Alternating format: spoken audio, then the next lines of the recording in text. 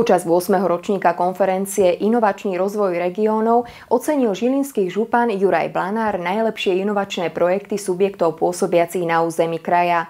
Súčasťou slávnostného večera bolo i vyhlásenie výsledkov 4. ročníka súťaže Stredoškolský podnikateľský zámer 2013, ktorej cieľom bolo podporiť záujem študentov o podnikateľské aktivity. Do súťaže sa prihlásilo 37 podnikateľských zámerov študentov zo 17 stredných škôl Žilinského kraja. Ceny poputovali aj na Oravu.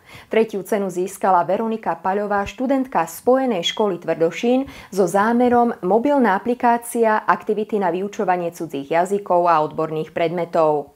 V rámci 4. ročníka súťaže bola udelená aj mimoriadna cena sympatie súťažnému zámeru Veroniky Zbojovej, študentky Spojenej školy Tvrdošín s názvom Na zákusok do Londýna.